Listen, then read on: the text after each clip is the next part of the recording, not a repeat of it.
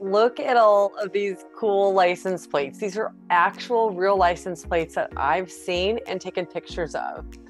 So I talked about signs in the previous video, but I want to single out these three types. License plates, that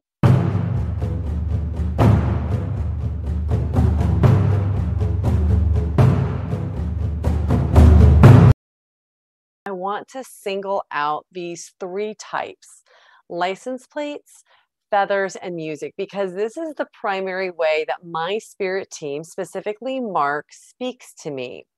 But most especially so that you can understand the elaborate lengths that spirit often goes to to communicate with us.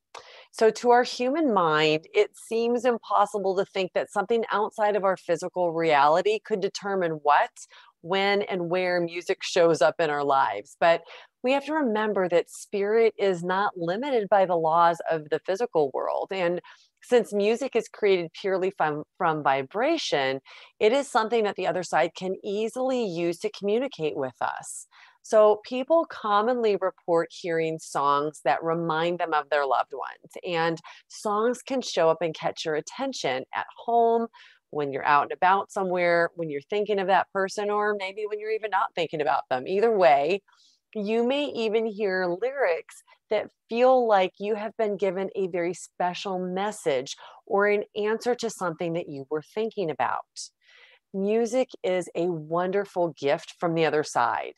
Every medium who has ever brought Mark through since his death has told me that Mark communicates with me through music, and the evidence for this is irrefutable music is definitely his primary method of communicating to me, which makes sense because he was a professional musician and music also connected us before he died.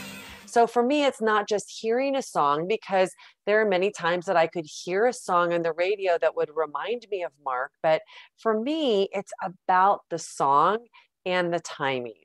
So I'm going to share an example of what I mean. So it had been more than two years since Mark had passed away, and we were on our way to this hockey tournament for my son that was to take place about 45 minutes away from my house. And my husband was driving, my son was sitting in the front seat, and I was in the back working on my computer. And we exited the highway, and for whatever reason, I happened to look up from my work just in time to see the Holiday Inn Express through my window. And it was the hotel that Mark had stayed at back in August of 2008. We had had dinner together with the band at a Bennigan's restaurant. Remember those located inside the hotel? And this was the only meal that Mark and I had ever shared together. Our relationship had been primarily long distance. I all of a sudden, as I saw that hotel, had this image of he and I sitting in this booth together having a conversation. When we finished our our meal, Mark looked at me and said, "If you didn't have kids, I would ask you to move to Texas to live with me." And thinking of that night evoked such strong feelings and really does even today. It was the night that ended everything between Mark and me, but the night before the hockey tournament, I had actually been listening to a top 40 countdown that I enjoyed on XM Radio's 80 on 8. But at that time, I really didn't listen to the 80s on 8 station very much, and the radio was still tuned into it. But about five seconds after we passed the Bennigan's restaurant, that radio station began playing We Built This City by Starship. And when I heard it begin to play, I actually started shaking and got a full adrenaline rush. That sign was one of the biggest confirmations I have ever gotten from Mark because of the significance of that night to me and because of those feelings. And it felt like Mark was letting me know that he felt the same. I had no control over the situation that allowed for the timing. I wasn't driving. And I know it might seem like such a simple thing, but the complexity of the timing was what made this so special. And specifically, my lack of control over the timing. A sign where all the stars align can give you so much confirmation and joy. And later on, after that hockey tournament, my husband was again driving, and this time he changed the radio station to one which so happened would not be playing any songs that I would associate with Mark, further corroborating the fact that the satellite XM radio had been queued up for me to receive that beautiful sign. Um, on one of my daily walks around the ponds, almost a year after Mark died, um, there was a song called show and tell by al wilson that started playing on my my music that i was walking and listening and the lyrics said show and tell just a game we play when i want to say i love you. And as that song played and that lyric played my attention all of a sudden moved to this teeny white feather floating at my right side at eye level and it followed me for a few feet and then it rose higher and higher and higher towards the east and it was continuing up into the trees and it was gone and I couldn't see it. And there were no other feathers that I saw that day. But I did notice the coincidence of the lyrics, I love you, playing as I saw the feather. And I felt that I was being given this beautiful message that day. So a couple of months later, I was driving to work and that song, Show and Tell by Al Wilson, came on the radio. And I again had that thought about the tiny feather and how it had appeared the last time when the song was playing. And I talked to Mark and I was like, Was that really you? Were you really sending that to me? And I exited the highway in a double turn lane and there was a big truck lane in front of me. And now, normally, I would have changed lanes and I would have raced around a slower vehicle. But I had, um, I didn't really want to miss the green light and I was going to be turning right and I wasn't in a hurry that day. So I just stayed right where I was behind this semi truck. And all of a sudden, in the left hand lane, a car started passing me. It had a license plate that caught my eye and it said Music Man, M U Z C M A N. And it happened so fast, I could not take a picture of the car as it was passing. But I knew immediately that that was my confirmation because Mark, of course, was my music man as the lead guitarist of the band Starship. And I felt like he was saying, Yes, yes, it was me sending you that message of love. And here I am again. So if I had been in that left hand lane, I would have been in front of that car with that license plate that said Music Man. And my office was the next right hand turn and there's no way that i would have been able to see that car pass me. So it really made it so special the timing of where i had to be and having that thought and asking a question and then immediately getting an answer from spirit. And as if i had any doubt at all as i turned into that parking lot the music began playing the sign by ace of base which has the lyrics that say I saw the sign and it opened up my mind. I saw the sign. so I really can't make these things up. Okay, now I'm going to share a story of a several things that happened over a period of a couple of years. So when I lived in Illinois, shortly after Mark died, I went to go see a concert. And on the ride home from the concert, I was talking to Mark in my mind. I was not driving, I was the passenger. And I said to him, were you there with me at that concert? Because in my mind, I would think in spirit form, he wouldn't miss an opportunity, right, to go with me to a concert. And as I had that thought, we pulled up behind a car that had the license plate that said soul mate. And I couldn't believe it. And I excitedly said, Oh my God, is that you? Is that you? Are you sending me this soulmate plate? And we got on the highway, and because I wasn't driving, I would have probably stayed behind that license plate, but um, I wasn't driving, and so the car was gone. And then a couple seconds later, the Jefferson airplane, Jefferson Starship song, With Your Love, began playing on the radio.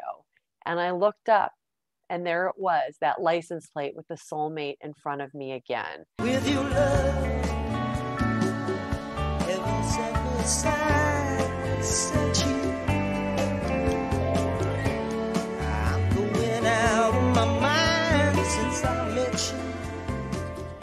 There was absolutely no doubt in my mind after that. At the time, of course, signs were so new to me that I was so left brain questioning and wanting all this proof. But that was pretty specific about asking him if he attended the concert, seeing the soulmate license plate, and then, of course, getting that Starship song to tie it all together.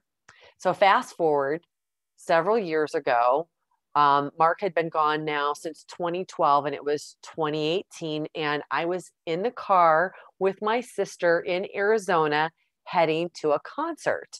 And I told her the story of how Mark had sent me that soulmate plate.